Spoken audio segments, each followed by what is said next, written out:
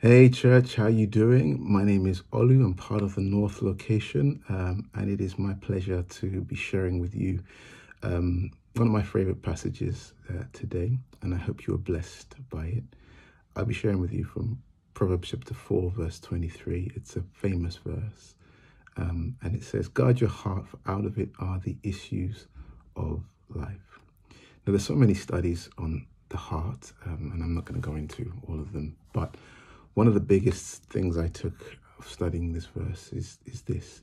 There's perhaps no issue that affects the heart more than the issue of offense or taking offense. And as I started to think about this, I thought, actually, um, if I take a knife and cut you, you bleed. If I clench my fist or clench my hand and, and, and punch you, you'll, you'll probably have a bruise, so it's quite evident that you've been hurt. But on the matter of offense, what, what, what exactly is, is, is hurting? Now, you might say it's emotional hurt, but the emotions themselves are just really um, indicative of something that's going on deeper. So it's not the emotions that are hurt. There's something far deeper on the inside that's going on there. And I came to the conclusion that is this, that when we are offended, someone has trodden on our sense of right and wrong. Someone has done us wrong. We, we feel like we've been wronged. And this is where offense comes from, some sense of injustice. And the degree of our emotional reaction depends on just how far they have eroded that sense of right and wrong. I also learned this, that that sense of right and wrong is, is malleable and, and can be changed and shaped uh, with some work. Um, and actually culture is a massive part of shaping that sense of right and wrong. You'd be amazed at if you compared and contrasted cultures across the world, what is perfectly permissible in one is actually offensive in another. Culture is a big part of our sense of right and wrong. But in like manner, Jesus himself came to try and bring us kingdom culture and asked us to calibrate that sense of right and wrong with his mind or the Father's mind and the Father's heart. And a good example of this is when the disciples came to him and said, Lord, if someone comes to ask us for forgiveness, how many times should we forgive them? And he said 70 times 7. The thing is this, is that when we are offended, God can not do much with us. Um, and I think there is a great example of this, or the greatest example of this is given by Jesus himself on the cross when he says these powerful words, um, Father, forgive them, for they know not what they do.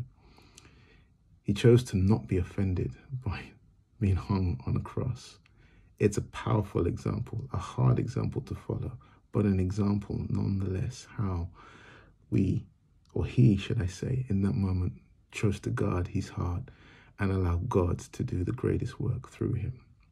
So the question for you, or for me as well today, is has anyone lost a brother, sister, uncle, aunt, pastor, leader, friend because of offense?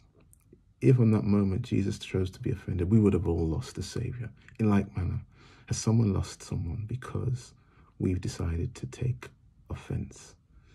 Guard your heart, for out of it are the issues of life.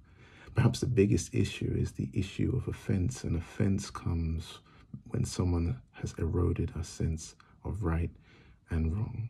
And God is asking us to calibrate that sense of right and wrong with His thoughts, His mind, and His heart. The greatest example of which is Jesus on the cross saying, Father, forgive them, for they know not what they do. Who do we need to just pray for forgiveness on behalf of today and let go of that pain and that hurt? Because when we do, then just as Jesus on the cross made a great sacrifice for us, we can be used of God to make sacrifices on behalf of others and see that God's will be done in the lives of friends, family, brothers, sisters, um, and God, I believe, will use us to really translate his message of love. Um, so, God bless, and I hope that today you find it in your heart to let go of offense and allow God to move through you. God bless.